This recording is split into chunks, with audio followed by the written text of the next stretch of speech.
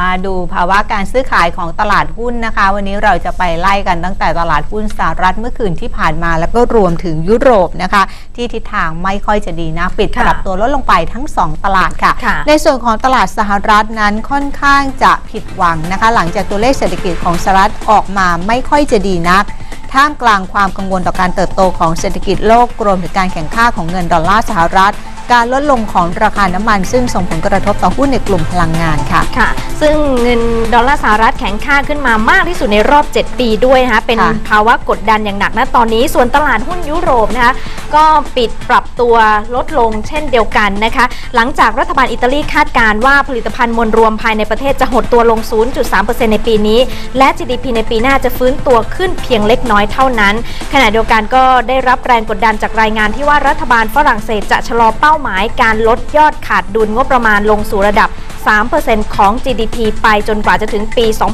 2558 เนื่องจากเศรษฐกิจชะลอตัวค่ะ ของสหรัฐเนี่ยนะคะยังมีอีกปัจจัยหนึ่งซึ่งคาดว่าจะเป็นปัจจัยกระทบระยะสั้นนะคะ ส่งผลในเรื่องทางจิตวิทยาก็คือการยืนยันว่ามีการพบคนติดเชื้ออีโบลารายแรกในสหรัฐด้วยค่ะค่ะ ส่วนตลาดหุ้นเอเชียนะคะ ในเช้านี้ปรับลดลงไปสำหรับนิกเกอินะคะ ส่วนหังเซงและสเตรทามยังคงปิดทำการค่ะคะเนื่องในวันเฉลิมฉลองวันชาติจีนน่ะนะคะ ส่วนตลาดหุ้นไทยวันนี้เราก็ได้รับผลจากตลาดหุ้นทั่วโลกที่ปรับมีทิศทางในการปรับตัวลงบ้านเราก็ปรับตัวลงตามไปด้วยนะคะ ล่าสุดลงไป5.59 จุด อยู่ที่ระดับ 1,581.76 จุด มูลค่าการซื้อขาย 15,415 ล้านบาทค่ะค่ะ และแนวโน้มตลาดหุ้นไทยนะคะ ในวันนี้คุณอภิชาติผู้บรรเจิดกุลผู้อำนวยการสายงานวิเคราะห์หลักทรัพย์ของบลทิสโก้นะคะบอกว่าตลาดหุ้นไทยมีแนวโน้มปรับตัวลงไปในทิศทางเดียวกับตลาดหุ้นอื่นในภูมิภาคเอเชียช่วงเช้านะคะค่ะปรับลงไปประมาณ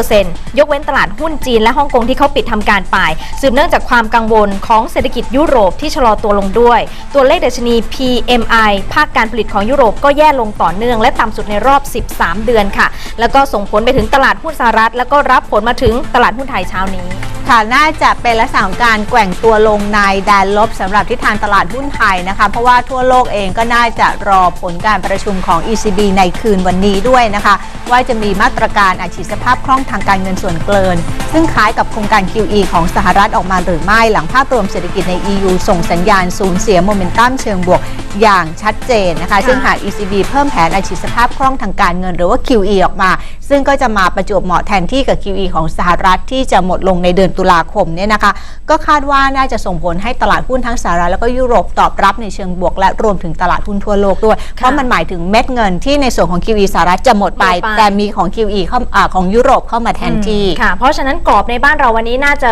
กรอบจำกัด ขึ้นขึ้นก็ไม่มากไม่น่าจะขึ้นได้อาจจะมีถ้าดูแบบเปอร์เซ็นต์ติดลบด้วยซ้ำแต่ต้องดูในช่วงบ่ายนะคะ ว่าจะมีแรงซื้อเข้ามาหรือไม่วันนี้มีหุ้นน้องใหม่ด้วยนะคะ หุ้น Smart เข้ามาเทรดในวันแรกในตลาด MAI ก็ดูเหมือนว่าจะตามรอยหุ้นน้องใหม่รุ่นพี่ได้นะคะ เพราะซิลลิงก็ใกล้ๆจะ 200%แล้วค่ะ ค่ะ หมดเวลาแล้วนะคะสำหรับ Business Headline ขอบคุณสำหรับการติดตามรับชมค่ะ เราทั้งสองคนรวมทั้งทีมงานลาไปก่อน สวัสดีค่ะ สวัสดีค่ะ